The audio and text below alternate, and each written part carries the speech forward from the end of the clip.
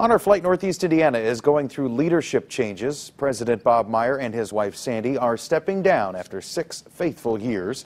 News Channel 15's Kaitor Pessoa met up with the couple this weekend. Kaitor, who will the new president be? Vietnam War veteran Dennis Covert will be taking the helm in June. He's been involved with the organization for five years. He says he knows he has big shoes to fill. Bob and Sandie Myer are reminded of their freedom daily.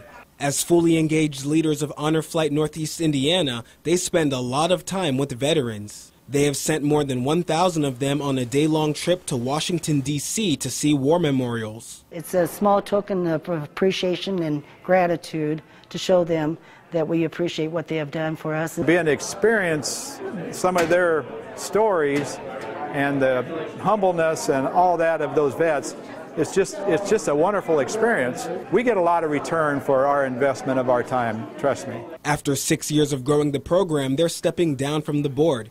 They say it's time for them to move on. They genuinely have become the face of honor flight in Northeast Indiana. Their passion and their joy and their um, commitment to our veterans and our military. The heart and soul of honor flight. They, they are what makes honor flight tick. Before Bob was president, 50 vets were being sent to D.C. per year. Now they send about 350. The couple says what they love most about the organization is when the veterans arrive back in Fort Wayne for a grand welcome. Literally thousands of people and lots of kids there all cheering and yelling, bands playing.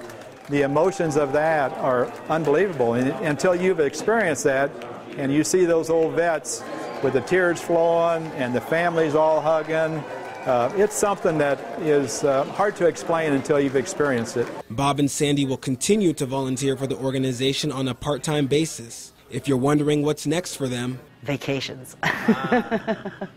the next honor flight is later this month. There'll be four in total this year. Go to wane.com to learn how you can volunteer and help out a veteran. In Studio 15, Kaitor Pessoa, News Channel 15. Kaitor, thanks. Bob and Sandie are the best. We wish them well. We know they'll stay involved for years to come.